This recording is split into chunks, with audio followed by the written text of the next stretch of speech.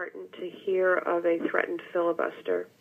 Um, a number of senators uh, indicated that they were going to try to prevent uh, votes on all, all uh, on a wide range of these questions. And I have to say, I agree with the president that um, these measures uh, to reduce gun violence, gun violence, all deserve a vote in the Senate.